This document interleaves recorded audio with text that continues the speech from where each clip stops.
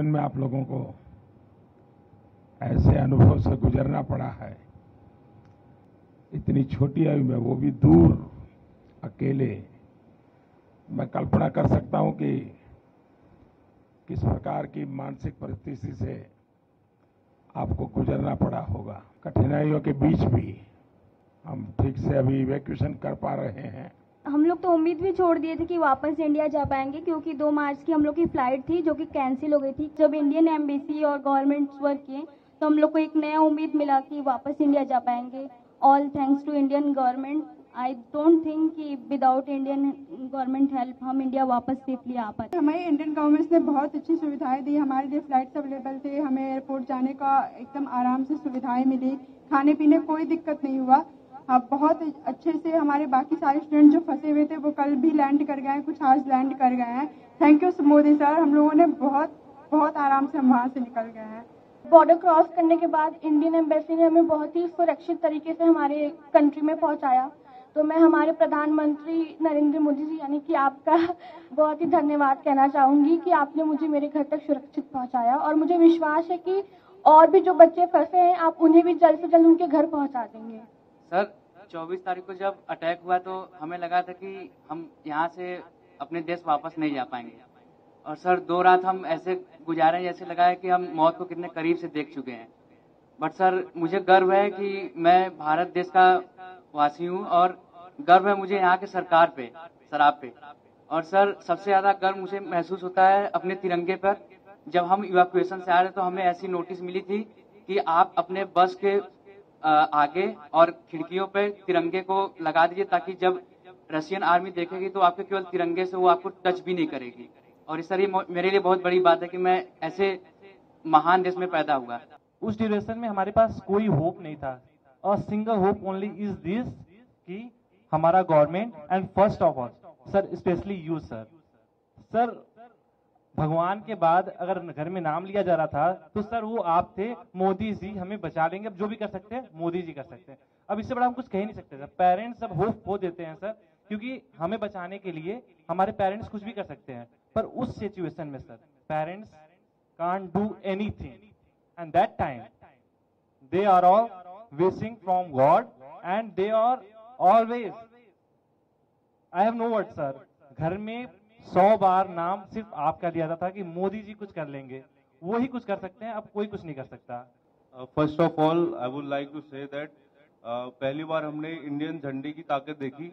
Uh, हम जब बस पे जाते थे तो करीब 25 चेक पोस्ट हमें मिली जहाँ पे हमारी चेकिंग हुई आर्मी अंदर आई।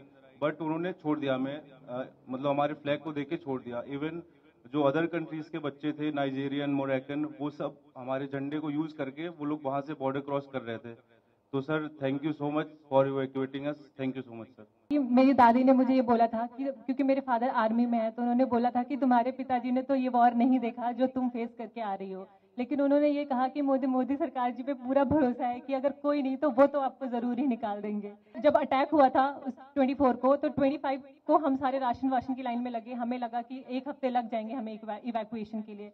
लेकिन हमें 26 को ही मैसेज आ गया कि आज आपका इवैक्यूएशन है। हम बॉर्डर पहुँचे, फिर वहाँ से हम रोमानियन बॉर्डर को क्रॉस किया और फिर वहाँ से इंडियन एम्बेसी ने हमारा बहुत साथ दिया। हमें तुरंत इवैक्यूएट किया गया। फ्री फ़्लाइट फ्री एवरीथिंग मेरे पास तो इंडियन करेंसी भी नहीं थी लाने के लिए कुछ भी। तो हम लोग सो ही नहीं पा रहे थे कि अटैक हो गया, अब हम लोग के साथ भी कुछ भी हो सकता है। और जब हम लोग स्टडी के लिए गए थे, उसके जस्ट एक हफ़्ते बाद मेरे पिताजी का देहांत हो गया। तो उसके बाद मेरी मम्मी इतना ज़्यादा पैनिक होती थी हमेशा कि तुम कब आओगी, कैसे आओगी? अब मैं कुछ कर भी पाऊँगी कि नहीं कर पाऊँगी? तो उनके पैनिक होने से मैं भी पैनिक हो जाती थी। तो जैसे ही उनको पता चला कि सरकार ने इतना इंतज़ाम किया है, आ जाऊँगी, जैसे ही उन्होंने मुझे देखा, आपको इतनी दुआएँ दी हैं, इतनी दुआएँ दी हैं कि आप हमेशा खुश रहे, आप हमेशा जिए।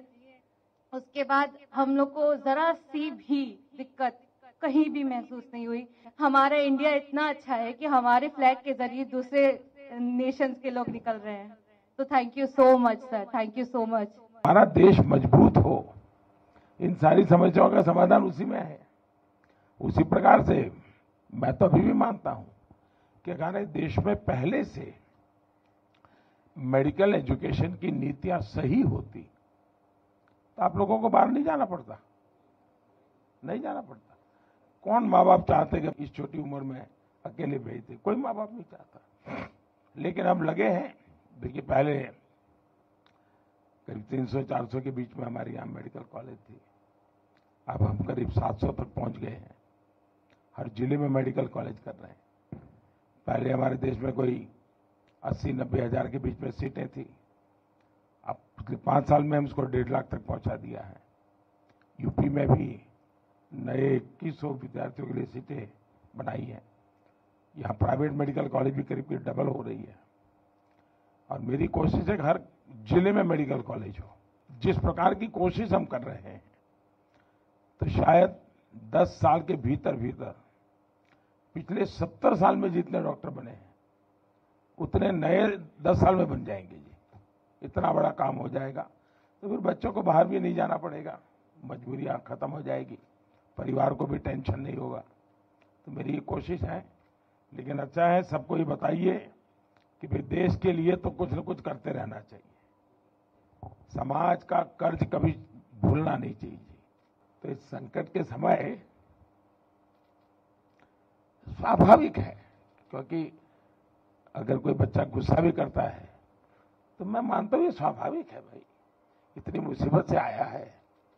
और इतनी ठंड में, इतना चलना तो ये बहुत स्वाभाविक है। अगर किसी बच्चे को, उसके माँ बाप को भी अगर गुस्सा है इवन मेरे लिए तो भी मेरा मत है कि उसका एक गुस्सा जायज़ है।